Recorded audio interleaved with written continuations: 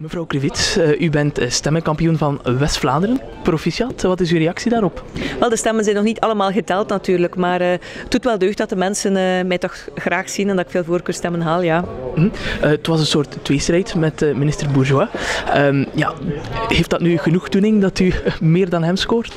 Wel, op dit ogenblik weet ik nog niet wat mijn precieze score is. het is minder dan de helft, denk ik, van de stemmen die geteld zijn. Dus het kan nog alle kanten uit. In elk geval lijkt het mij wel duidelijk dat N-VA de grootste partij is in West-Vlaanderen. Dus dat heeft uh, Geert al uh, binnengehaald. En die persoonlijke voorkeurstemmen, dat is uh, uiteraard iets wat plezant is als je vertrouwen hebt van veel mensen. Maar ik zie dat een aantal kopstukken het echt zeer goed doen qua voorkeurstemmen in, de, in West-Vlaanderen. Ik ben niet de enige.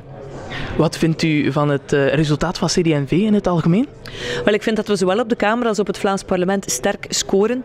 En als ik dan kijk naar Vlaanderen, dan zie ik dat we een paar procenten moeten inleveren in vergelijking met 2009. Dat is niet zo vreemd. Ik had heel graag 25 procent gehaald.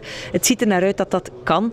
Maar we moeten natuurlijk nog even afwachten voor die laatste cijfers. En ik stel ook vast dat mijn collega Hendrik Bogaert het zeer goed doet met zijn Kamerlijst.